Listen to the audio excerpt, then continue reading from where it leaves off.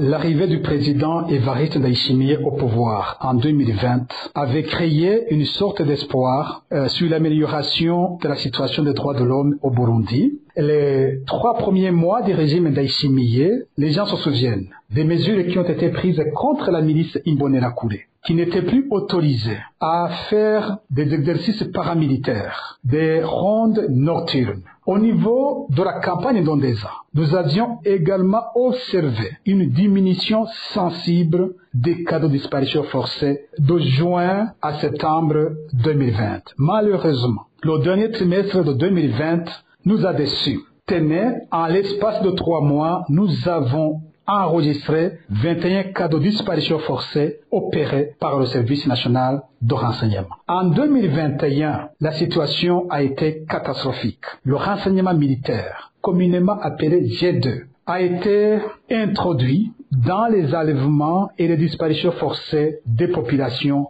civiles. Un petit groupe euh, d'agents du renseignement militaire a été utilisé pour des enlèvements dans toutes les provinces du pays. Au moins 60 personnes ont été victimes de disparitions forcées en 2021 et ces opérations ont été opérées par le renseignement militaire. En 2022, nous avons noté euh, une diminution sensible des cas de disparition forcée. Euh, seulement quatre cas de disparition forcée ont été enregistrés par la campagne d'Ondesa et ils étaient opérés par le service national de renseignement. En 2023, nous avons observé une nouvelle augmentation des cas de disparition forcée. 10 cas ont été enregistrés et tous étaient opérés par le service national de renseignement. C'est en 2024 que nous nous inquiétons. Dans les cinq premiers mois de 2024, nous avons enregistré 30 cas d'enlèvement et de disparition forcée,